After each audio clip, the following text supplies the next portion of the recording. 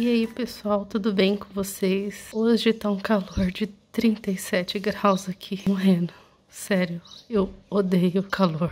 Meu corpo dói, minha cabeça dói. Gente, sério, é horrível para mim, sabe? Sufocante. O vento, vocês estão vendo o vento, né? Olha só, as folhinhas balançando e tal. Vocês não têm noção de como tá vindo quente esse vento. Tá muito quente, gente. Tá insuportável. Até o carro tá falhando, coitado.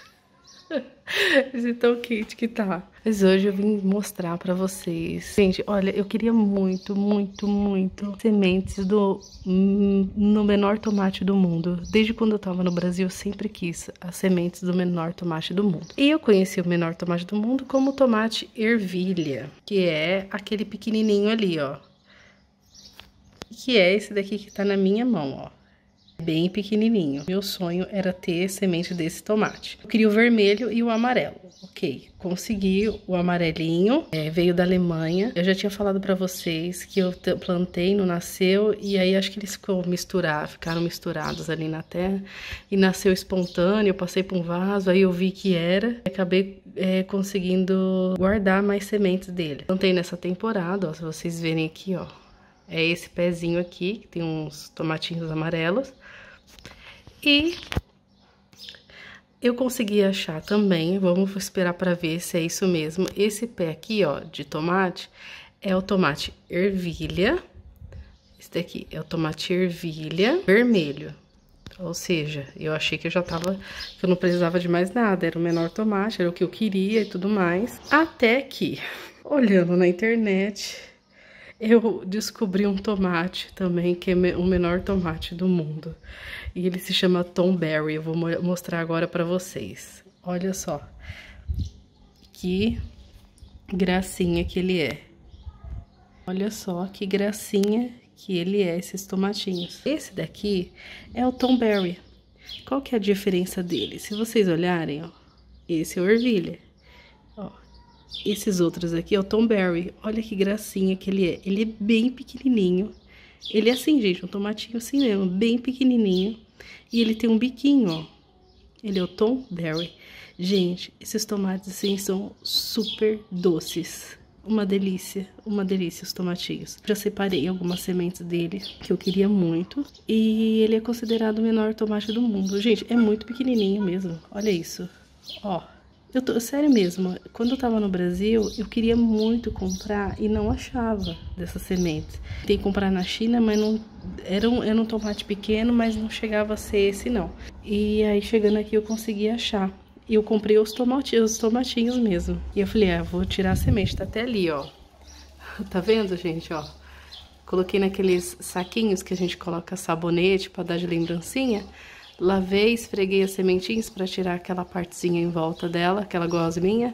Elas estão ali, ó, ao sol secando. Eu estou, assim, muito feliz que eu vou ter mais tomatinhos desses para plantar. Agora, eu vou colocar uma moeda de um cêntimo, que é muito comum aqui.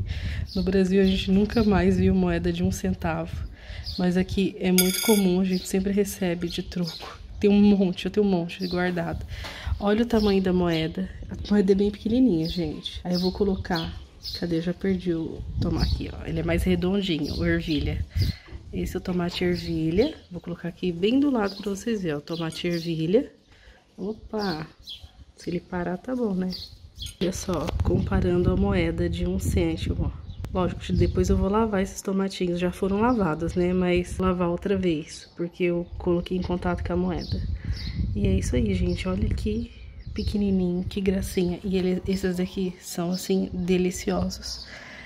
Gente, sério, eu tô começando a pensar, assim, em vender. Muita gente entra em contato comigo perguntando se eu vendo sementes. Eu sei como é querer ter a semente de alguma coisa e, e não encontrar ou ser difícil. Sabe, eu tô começando a querer compartilhar isso com vocês, montar uma lojinha, sei lá mesmo que, que eu mande daqui de Portugal para o Brasil, eu pensei em mandar. Eu tenho muita coisa, eu tenho brócolis roxo e tudo mais. Muita gente me pergunta se eu vendo sementes eu falo que não, porque eu só só conteúdo para o canal mesmo.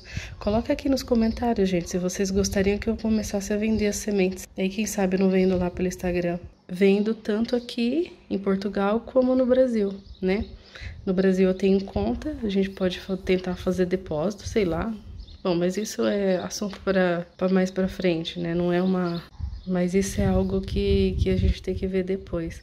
Mas me conta aí, gente, nos comentários o que, que vocês acham, o que, que vocês acharam dessa lindeza aqui, ó. Ai, gente, muito bonitinho. Eles são assim, deliciosos, bem docinhos. Me fala aí o que, que vocês acharam. Que eu tô muito feliz de ter encontrado e de ter separado, assim, ó, porrada de, de sementinhas que vão servir para próximas, as próximas estações. Ai, dá até preguiça de ir lá fora, tá muito quente, mas vou mostrar pra vocês.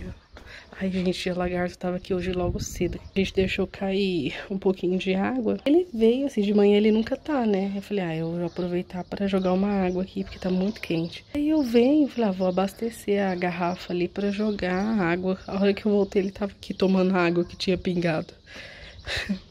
vou tomar coragem aqui para mostrar para vocês, ó. Separei bastante sementinhas. E aí vocês me falam, gente o que, que vocês acharam dos tomatinhos. Se vocês gostariam de ter também.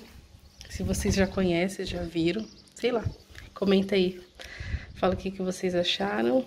E deixa um like, se inscreve, compartilha esse vídeo. Não custa nada, gente. Você dá um, um like e, e se inscrever no canal. Não paga nada por isso. E você vai estar me ajudando muito. Então é isso aí, pessoal. Espero que vocês tenham gostado desse vídeo. Eu me despeço aqui com essas lindezas. Até a próxima.